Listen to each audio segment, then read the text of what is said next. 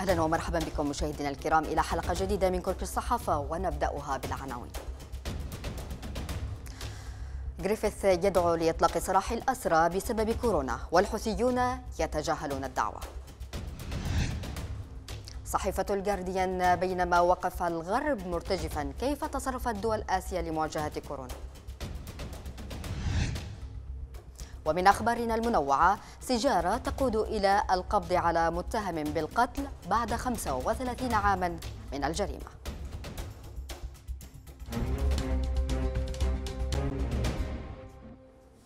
أهلا بكم.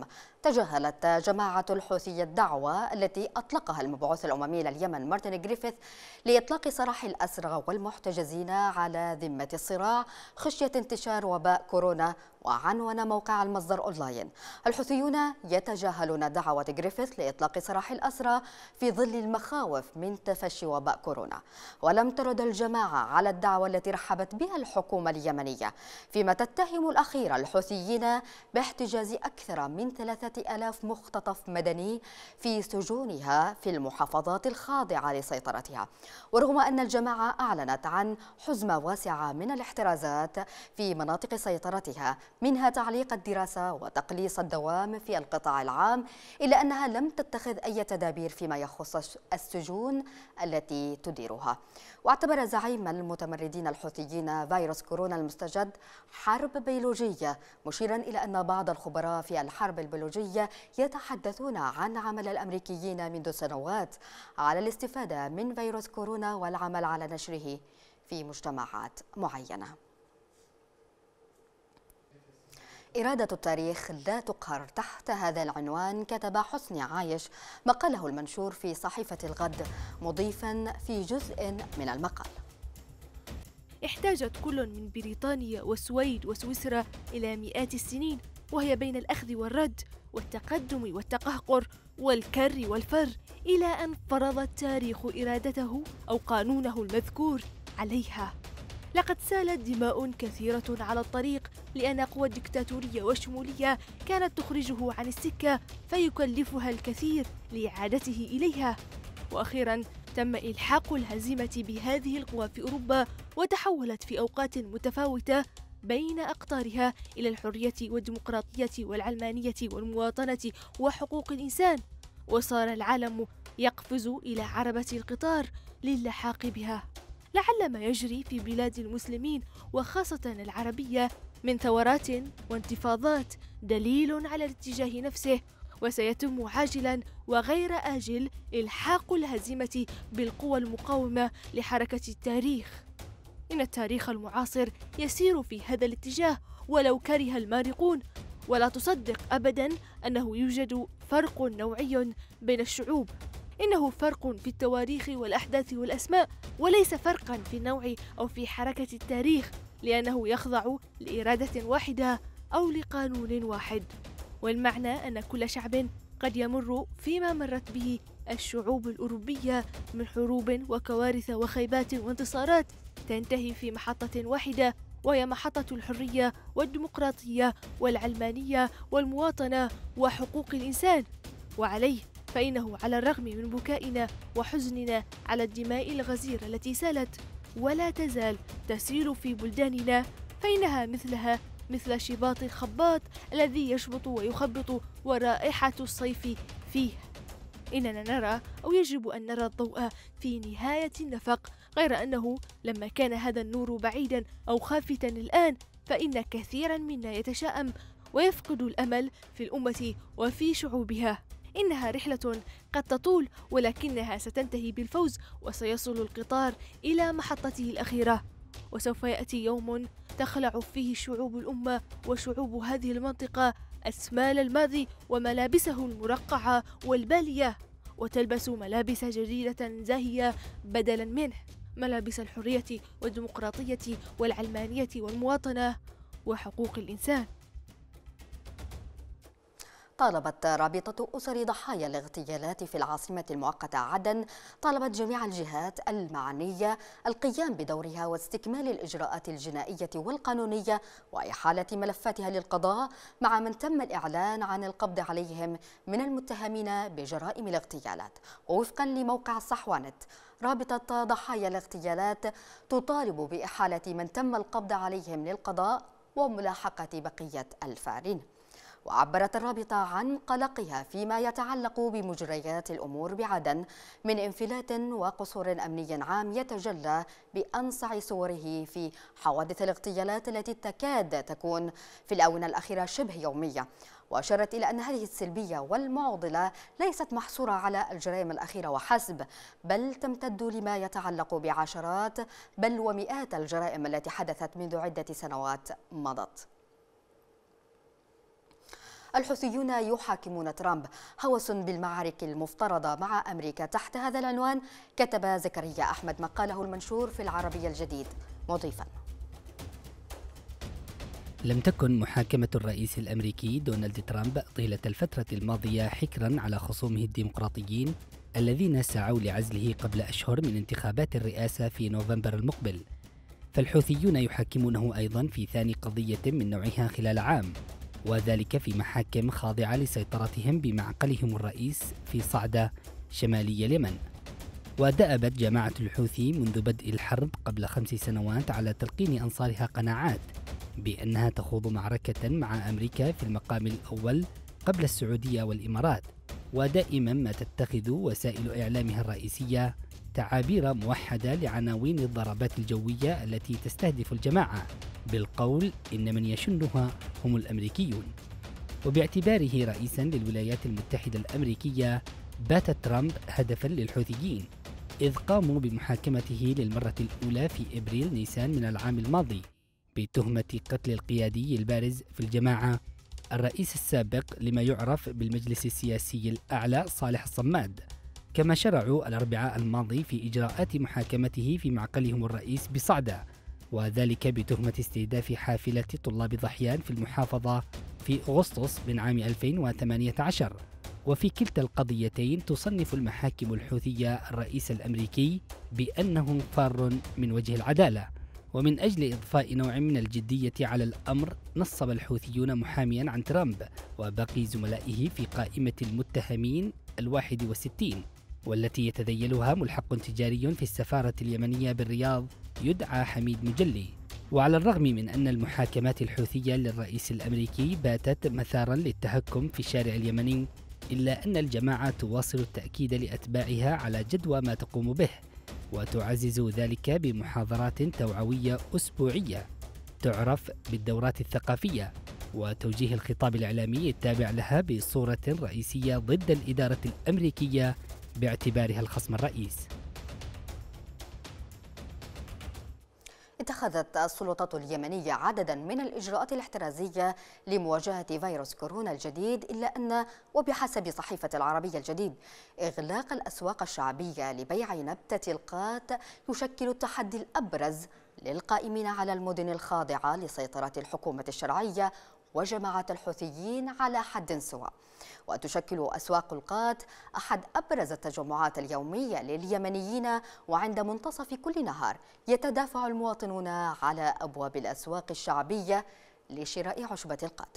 ومع تعليق الرحلات والدراسة وصلاة الجمعة والجماعة في المساجد للحد من التجمعات باتت أسواق القات الشعبية التي تنتشر بكثافة داخل كافة المدن الرئيسية والصغرى العقبة الأكبر أمام سلطات عدن وصنعاء بهدف الحيلولة دون تفشي فيروس كورونا الجديد في البلاد. وعلى الرغم من عدم تسجيل أي إصابات مؤكدة بفيروس كورونا الجديد في اليمن كما تؤكد السلطات الصحية إلا أن الخدمات الطبية تشهد تدهورا كبيرا في البلد الذي يعيش اضطرابا ونزاعا متصاعدا. السلطات اليمنية وفي مناسبات سابقة حاولت تنظيم ونقل أسواق القات إلى خارج المدن من أجل الحد من الازدحام المروري في أوقات الظهيرة إلا أنها عجزت عن ذلك. وتجدد الأمر في الوقت الحالي مع دعوة ناشطين على مواقع التواصل الاجتماعي لإغلاقها بشكل كامل كون القطاع الصحي لا يحتمل مواجهة وباء كورونا. يقول وكيل وزارة الصحة في الحكومة اليمنية الشرعية علي الوليدي للعربي الجديد إن قرار إغلاق أسواق القات يحتاج إلى جهة أمنية صارمة ولأن القرار قد يشهد معارضة كلية من قبل المواطنين. بدأت السلطات المحلية في بعض المحافظات وعلى رأسها حضرموت بالإعلان عن قرارات تمهيدية لحل مشكلة أسواق القات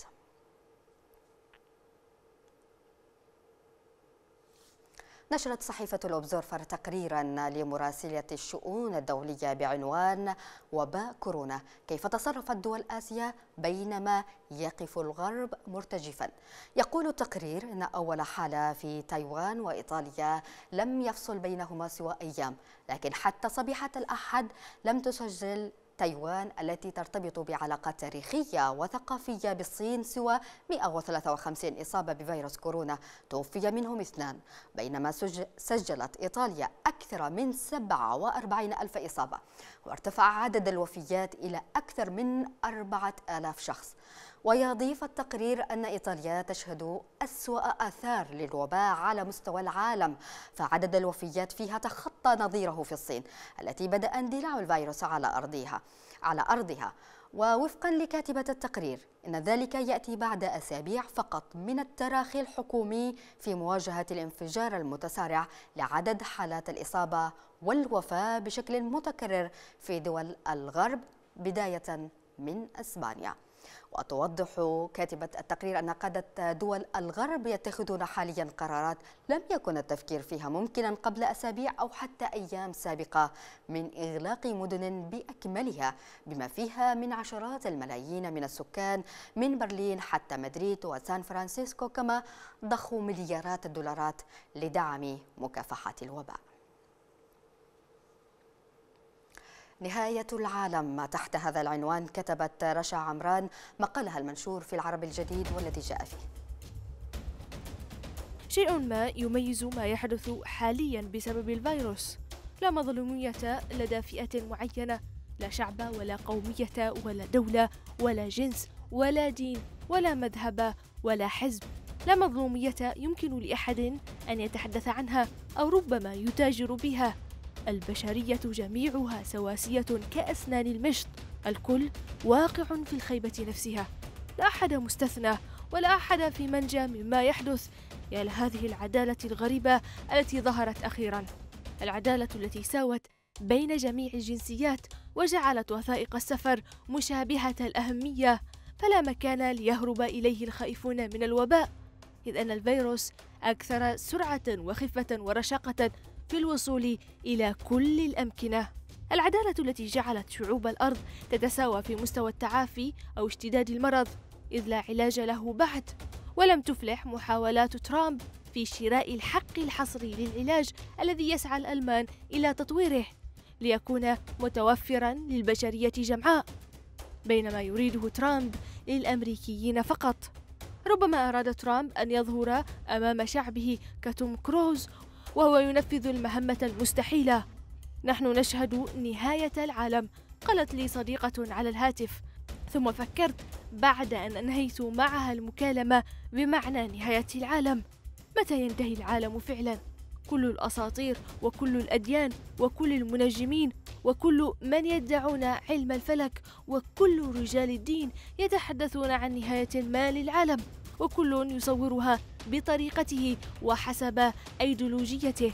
ثمة من يقول إن العالم سوف ينتهي بوباء أو باصطدام كوكب الأرض بكوكب آخر يؤدي إلى انفجار كوني أو بطوفان يغرق البشرية ولن يبني أحد سفينة لإنقاذه أو مخلوقات غرائبية تعيش في كواكب أخرى سوف تأتي لتحتل كوكب الأرض وتفني كل من فيه. في وقت أصبح فيه اسم كورونا ينشر الرعب في أرجاء متفرقة حول العالم إلا أن هذا الاسم كان مصدر سعادة لصاحب مطعم بيتزا ألماني فكيف ذلك؟ يقول موقع دي دباليو أنه لم يكن مطعم بيتزا في مدينة دورتموند الألمانية يعتقد أن أن إطلاق اسم كورونا على المطعم سنة 2013 سيجلب شهرة كبيرة لهذا المطعم في هذه الأيام العصيبة ويساعده في تحقيق مبيعات غير مسبوقة. ويشير مالك المطعم أوليفر إليفسكي إلى اختيار اسم كورونا على المطعم كان في سنة 2013 وأضاف لقد انتعش المطعم بشكل كبير منذ ظهور فيروس كورونا وإذا كنت تبحث في موقع جوجل على كورونا ودورتموند فإنه سينتهي بك المطاف تلقائيا في صفحة مطعمنا. أضاف الذي آه، أوليفر ألوفسكي الذي يدير المطعم مع زوجته أن هاتف المطعم يرن باستمرار حيث يطلب الزبناء غالبا بيتزا كورونا المفضلة في هذه الأيام. عندما يرن الهاتف يسمع برفقة زوجته بعض المزح من الزبناء أو الزبائن الذين يسعل البعض منهم قبل طلب البيتزا من مطعم كورونا. وأردف الفيروس سيختفي يوما ما لكننا نحن سنبقى. تمكنت الشرطة في ولاية فلوريدا الأمريكية من القبض على رجل يشتبه في قتله لامرأة قبل 35 عاما. بعد فحص الحمض النووي على بقايا سيجارة رماها من سيارته وتعنون البي بي سي. سجارة تقود إلى القبض على متهم بالقتل بعد 35 عاما من الجريمة. وتم اعتقال دانيال ويلز 57 سنة في مدينة بنساكولا الواقعة في فلوريدا في وقت سابق من هذا الأسبوع.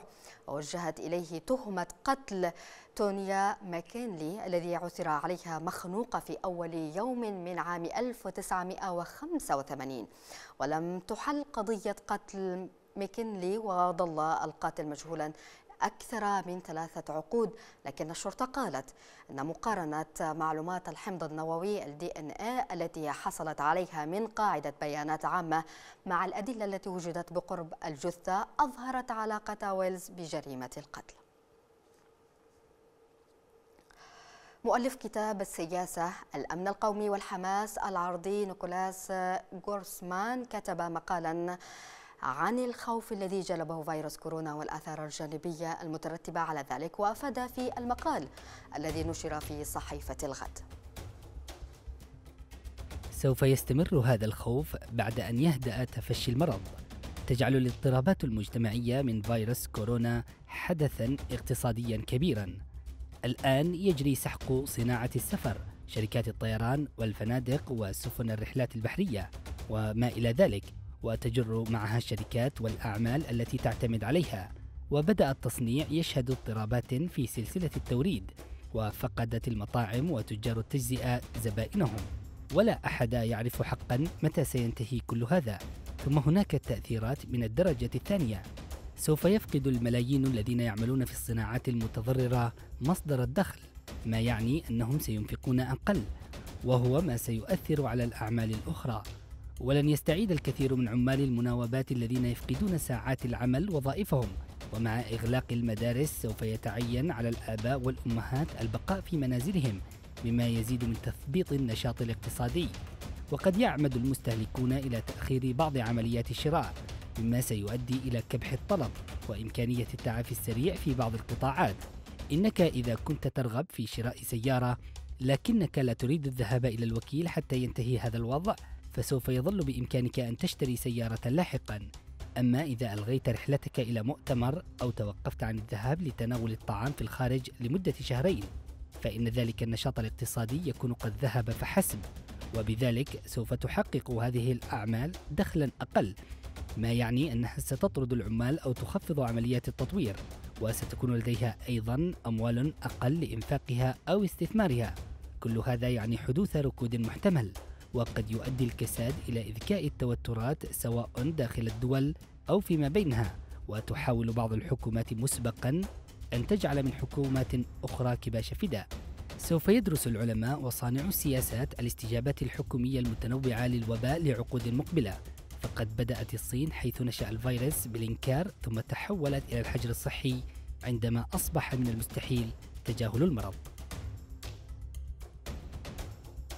صحيفة الجارديان البريطانية نشرت مجموعة من الصور التي تظهر التحولات التي يحدثها كورونا على العالم وكيف أثر على الحياة اليومية. نتابع.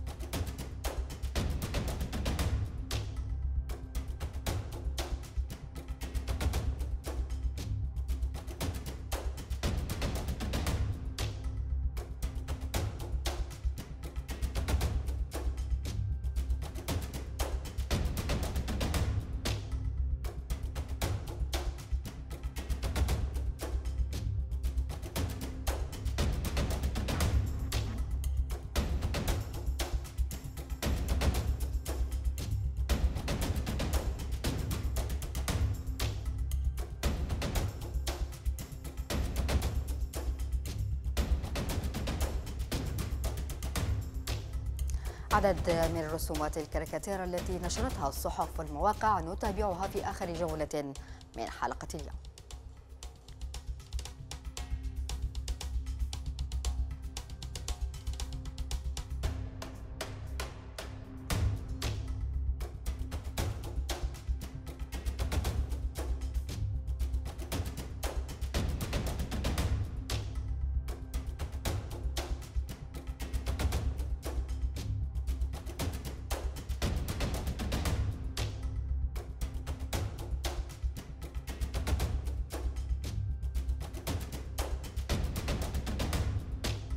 إذا مشاهدينا الكرام بهذا نكون وصلنا إلى نهاية هذه الحلقة. نشكركم على حسن المتابعة ونلقاكم على خير في حلقة قادمة. إلى اللقاء.